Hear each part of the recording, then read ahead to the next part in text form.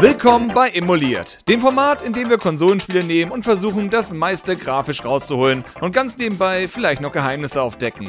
Dies ist der erste Part einer Zwei-Part-Serie über Mario Kart, die beliebteste Kart-Racer-Marke überhaupt und wohl auch die einzige, die überlebt hat. Wir fangen an mit der Super Nintendo-Version, passenderweise Super Mario Kart genannt. Als jemand, der mit der Konsole aufgewachsen ist, fühlt es sich immer sehr falsch an, emulierte Super Nintendo-Spiele zu sehen. Diese extrem klare Optik, dass man regelrecht alle Pixel zählen kann, war damals einfach nicht so, da wir auf riesigen Röhrenfernsehern gespielt haben, die anders als moderne Fernseher eklige Eigenschaften hatten wie Color Bleeding, was passiert wenn harte Farben aufeinandertreffen und leicht verschmelzen, sowie Scanlines, die zwischen allen horizontalen Linien erscheinen.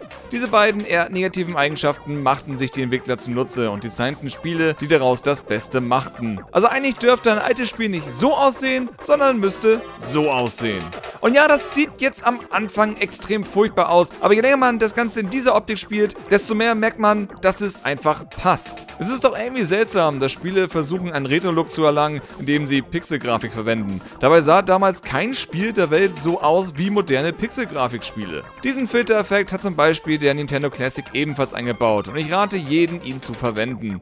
Hier noch zwei Fun Facts. In der japanischen Version haben Bowser und Peach sich volllaufen lassen, wenn sie gewonnen haben. Da das aber nicht kindergerecht ist, wurde es in der US- und EU-Version geändert. Schade, so eine saufende Peach ist schon, hm, ein seltsames Bild. Und eine Sache, die mir wieder einfiel beim Spielen, wenn man A und Y gleichzeitig beim Spielerauswahlbildschirm drückt, dann schrumpft der ausgewählte Charakter und man spielt die ganze Zeit in dieser Form. Da das Spiel manchmal echt einfach ist, hat man so eine extra Herausforderung, da jede Berührung mit einem Mitstreiter verheerend ist. Das zeigte mir damals übrigens mein bester Freund, als ich Kind war. Damals, wo man sich Sachen noch nicht aus dem Internet zog. Aber das ist alles, was man zu einem emulierten Super Nintendo Spiel sagen kann. Springen wir daher eine Generation weiter.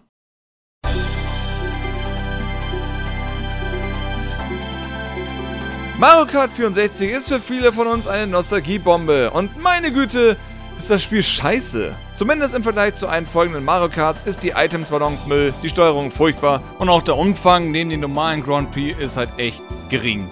Aber es hat seinen Charme und deswegen lieben wir es. Wenn wir das Spiel jedoch emulieren, haben wir direkt viele Unschönheiten. Gegen die Draw Distance können wir nicht so einfach etwas machen, aber auch insgesamt ist die Optik extrem altbacken, da die Figuren vorgerenderte Sprites sind und bei einer hohen Auflösung extrem verpixeln. Also wie wär's, wenn wir das Ganze interpolieren lassen, damit aus ein paar Pixeln mehr werden. Und wo wir dabei sind, wie wäre es mit Ambient Occlusion, Tiefenschärfe, Blumen, Textur ein bisschen schärfer, bisschen Nebel hinzufügen und Farbwerte korrigieren?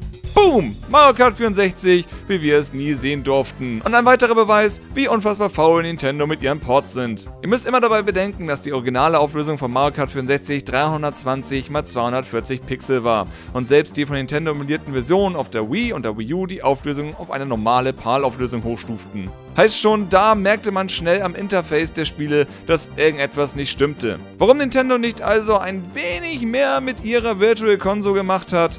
Naja, das werden wir wohl nie erfahren. Wisst ihr, was absolut kurios ist? Ihr kennt ja alle die Theme, wenn man eine Runde beendet hat. Also, die hier.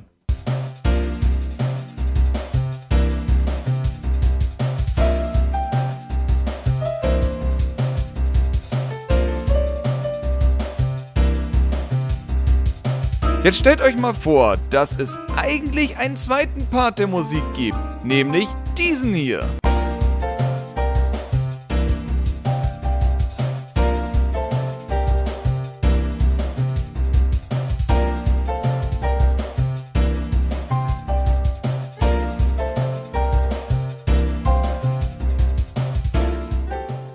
Der zweite Part wird jedoch wegen einem Binary Counter Bug einfach nie abgespielt, wobei nie vielleicht das falsche Wort ist. Denn anstatt zweimal den Loop des ersten Parts abzuspielen, wird er 64 Mal abgespielt. Das bedeutet, dass man den zweiten Part der Musik, der eigentlich nach genau 100 Sekunden kommen sollte, nach 54 Minuten und 39 Sekunden hören kann.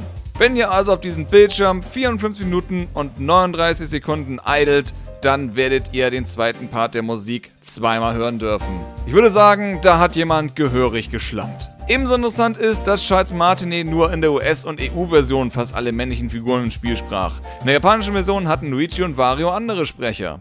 Bingo! Bingo! Ho, ho, ho, ho! Here we go! Here we go! Ow, ow, ow, ow, ow, ow, ow, ow. Wow, wow, wow, wow, wow, wow, wow. So ein Mist. Why, ja, ja, ja. Wario, it's gonna win. I'm Wario. I'm gonna win. Einigen wird aufgefallen sein, dass das dieselben Clips sind, die auch im Mario Party 1 und 2 verwendet wurden. Wer sich also fragte, warum die Figuren dort anders klingen, nun wisst ihr es. Es sind die japanischen Clips aus Mario Kart 64. Und wo wir schon dabei sind, Wario sagt in Mario Kart und Mario Party folgendes. So ein Mist. Und ja, es ist tatsächlich so ein Mist. Thomas Spindler hat die Story bestätigt, dass er damals mit seiner Firma diverse Spiele direkt bei Nintendo übersetzt hatte und es deswegen dazu kam, dass er gebeten wurde, Samples einzusprechen. Ware war beabsichtigt deutsch zu sein, was aber, wie wir wissen, schnell verflogen ist.